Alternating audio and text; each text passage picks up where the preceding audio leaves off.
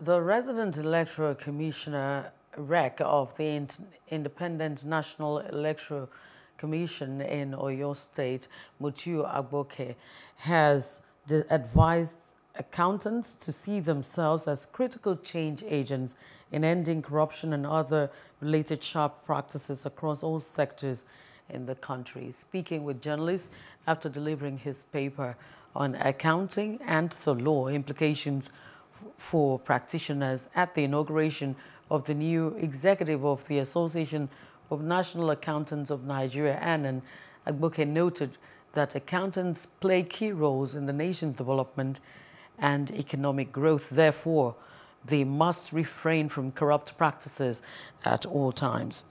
The state chairman of the Association of Senior Civil Servants of Nigeria, Isa Olude Owolabi, advocated the dichotomy between accountants in different professional bodies be eradicated.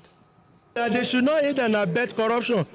Nobody, whether private or public organization, nobody will be able to go scot-free with corruption if an accountant is, does not have a hand in it. So, as a professional now, they are supposed to be the gatekeeper, gatekeeper of their conscience, gatekeeper of the trust. Because, you know, when you're an accountant, you deal with figures, you deal with monies. And if you are not contented with your art, you are likely to be tempted. So it's a message for them that if there's any window for them to be corrupt, they should avoid it. You cannot develop without accountants. There's a clear distinction between the role of an accountant and that of an economist. Nigeria as a nation has not taken adequate care of accountants as affects our national life. We know that the concept of accounting revolves around the, uh, the principles of confidentiality, objectivity, skill and competence, and credibility. Except, of course, and a nation concentrate on this fundamental principle of accounting, such a nation cannot develop economically.